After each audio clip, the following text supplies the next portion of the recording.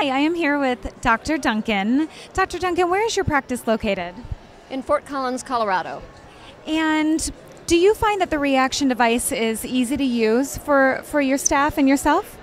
I think it's really very easy to use. It has uh, an intuitive uh, interface, and I think the hand uh, pieces are really nice and uh, lady friendly.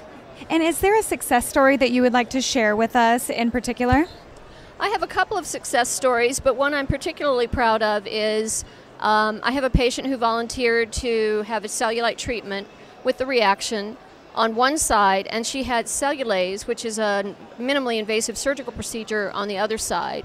Um, she had eight treatments with the reaction on the right thigh, and she had um, one treatment with the Cellulaze on the other side, and the reaction side clearly won. And I would like to say that once patients have this treatment, they come in and see the results, and then they have five other body parts that they want treated. So once a customer comes in, they'll return for a long time. Oh, that's great news. And then, how has your experience been working with Viora?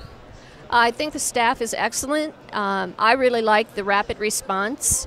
I send an email to Andrea and I get a response sometimes within 30 seconds. Um, they're very friendly. They um, can individualize their training for different types of practices, and I think they're wonderful to work with. And how has your clinical training experience been?